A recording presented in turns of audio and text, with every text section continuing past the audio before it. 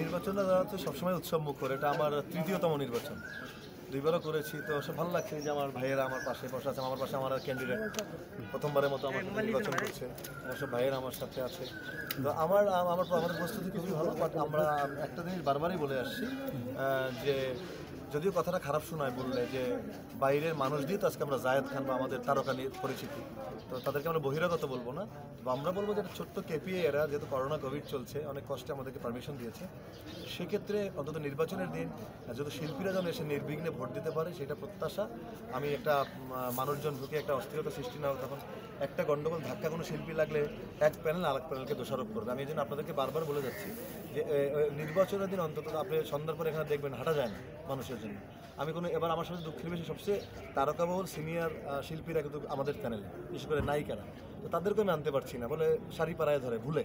মানে ইচ্ছা করে ধরে না সেলফির জন্য ঝাঁপ দিয়ে পড়ে। আমি এফডিসিতে ঢুকলে মানে ভোট চাওয়ার চেয়ে আমার সেলফির জন্য ঝাঁপ- ঝাঁপিয়ে পড়ে। এটা ভালোবাসি দিয়ে করে বাট আমি এই মুহূর্তে তো এটা আমার জন্য খুব মানে বিভ্রা মানে খুব বিভ্রান্ত হয়ে যাই আমি।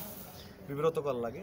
তো আমি সেখান থেকে নির্বাচনের পরিবেশটা আমি চাইব যেন আগামী দিন খুব পরিচ্ছন্ন থাকে এবং শিল্পীরা থাকে এবং যাতে এই চলচ্চিত্রের সংশ্লিষ্ট যে আইন শৃঙ্খলা বাহিনী থাকে বা নির্বাচন কমিশন, পুলিং এজেন্ট, শুধু এরা যেন থাকে, এর বাইরে যেন কাউকে এইখানে প্রবেশ করতে না দেওয়া হয় একদিনের জন্য। কারণ কারণ কোনো কিছু দিয়ে ঝামেলার সৃষ্টি হোক পরিচ্ছন্ন সুন্দর নির্বাচন আমরা চাচ্ছি। কারণ আপনারা দেখেছেন একটা একটা পক্ষ কিন্তু গতকালকে একটা পক্ষ বলতে আমি বিরোধী প্যানেল বলব না, একটা পক্ষ কিন্তু গতকাল গতকাল কিন্তু হাইকোর্টে নির্বাচন স্টে চেয়েছে নির্বাচন যেন স্টে হয়ে যায়। সেটা কিন্তু একটা গণতান্ত্রিক প্রক্রিয়ায় আঘাত হতো। এত শিল্পীর প্রস্তুতি, এত কিছু। কারণ শিল্পীদের নির্বাচন, এখানে তো একটা অরাজনৈতিক, অলাভজনক প্রতিষ্ঠান। এমন না যেন টাকা পয়সা আছে বা এখানে অনেক কিছু নেওয়ার আছে। তো সেখান থেকে সরকারকে ধন্যবাদ মহামান্য হাইকোর্টকে ধন্যবাদ, তারা আমাদেরকে নির্বাচন করার সুযোগ করে দিয়েছেন। সুষ্ঠু, সুন্দরভাবে নির্বাচন হোক, এই প্রত্যাশা প্রার্থীরা যেন সুন্দরভাবে দাঁড়িয়ে ভোট চাইতে পারে। চারশো, সাড়ে চারশো শিল্পী এসে যেন সুন্দরভাবে ভোট দিতে পারে। আজকে সমস্ত তারকা শিল্পীরা ফোন করেছে যায় যেন মানুষের ভিড়টা কম থাকে। আমরা যেতে চাই, সারাদিন সবার সাথে কথা বলতে চাই। উৎসবকরের পরিবেশ যেন থাকে। বাইরের লোক ঢুকলে অস্থির করে ফেলে। কে কি কোথায় ধাক্কা দিবে? এটা নিয়ে গন্ডগোল সৃষ্টি হবে, নির্বাচনের প্রভাব পড়তে পারে।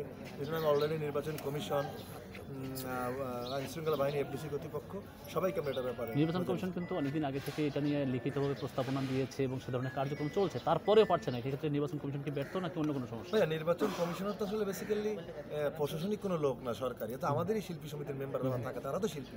তারা বলতে বলতে কত বলতে পারবে বলো? তারাও তো চাচ্ছে এখানে লোকজন না আসুক তারা প্রতিদিন গেটে যাচ্ছে। দেখেন গেইটে কিন্তু একটা প্রবেশ পথ এটাকে যদি সুন্দরভাবে একটু ধর- আটকানো হয় তাহলেই কিন্তু আসলে জায়গাটা সুন্দর হয়। আমাদের দরকার কি? শিল্পীরা আসবে শিল্পীরা তাদের মত ভোটটা দিন।